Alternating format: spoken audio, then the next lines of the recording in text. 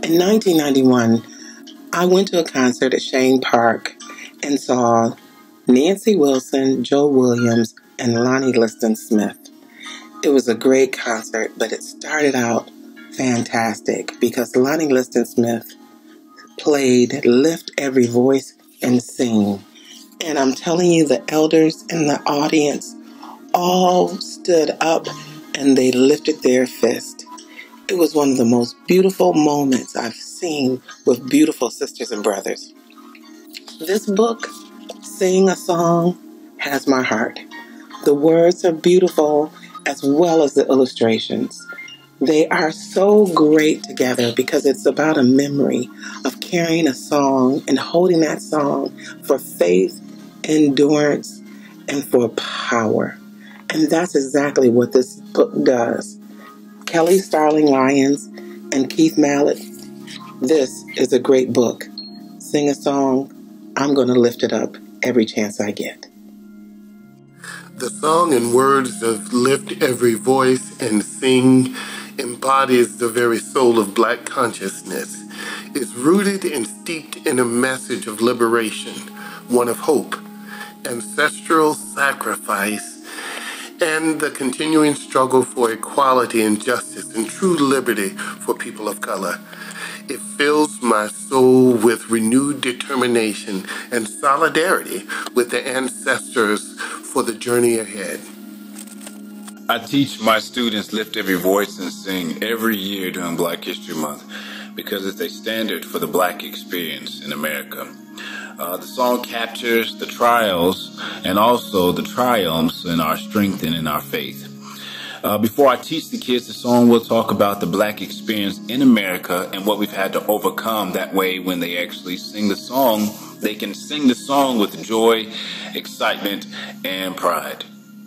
This hymn came to me much later in my life, probably when I was in my 20s, as it was included in our new, newer edition of our church hymnal. And the first time I sang it, I remember how beautiful it was and how strong it was, and the melody and the words never really were able to leave my head since. And I look forward to each time that we get to sing it in church and other places of uh, worship and celebration Who wrote the song, and what is the first chorus of the song, Mary?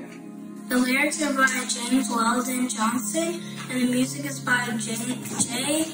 Rosamond Johnson. And what are the words to that song that we know? Lift every voice and sing, till earth and, and heaven ring. With the harmonies of liberty, let our rejoicing rise, as high, high as the listening skies, let it resound loud as the rolling sea. Sing a song full of the faith that the dark past has taught us. Sing a song full of the hope that the present has brought us. Facing the rising sun of our new day begun, let us march on to victory. And still today, we're marching on to victory. But we have African American authors now writing our stories for our children in language that they can understand. Is that important? Yes. That is important, right? So this book is for you guys because y'all like to read. So thank you, Miss Stallings. Thank you, Miss Lyons, for writing this book for us. Thank you. Thank you. Thank you. Have a good day. Thank you. Lift every voice and sing the Black National Anthem. It is a song that we sang at the beginning of every meeting, usually held in a church, before a major civil rights march.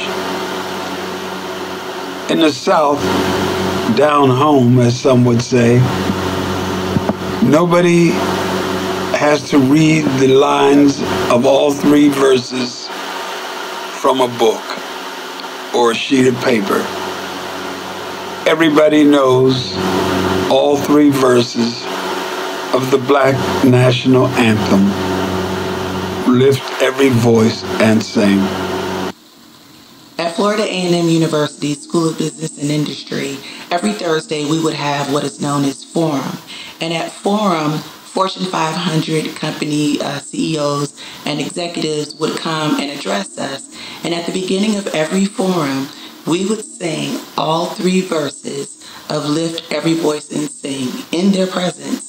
And it was an example of Black pride that I cherish and will never forget.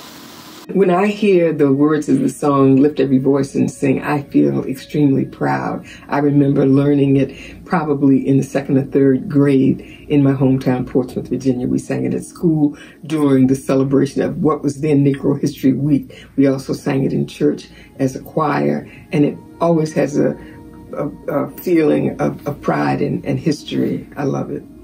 Lift Every Voice and Sing has been a part of my life since uh, elementary school. We sang it at almost all important events. And uh, in fact, it had more meaning to us than the national anthem. Uh, and I think it is as important today as it was when I first learned to sing it.